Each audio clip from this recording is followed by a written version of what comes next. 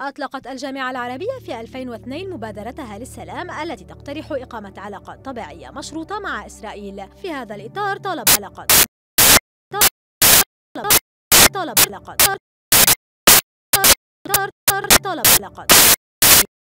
طلب طلب علاقات.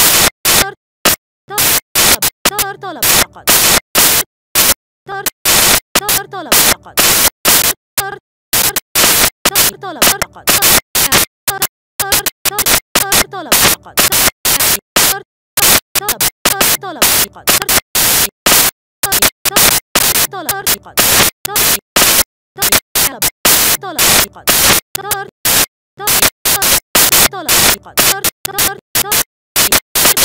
طلب علاقات طلب طلب علاقات طلب طلب طلب.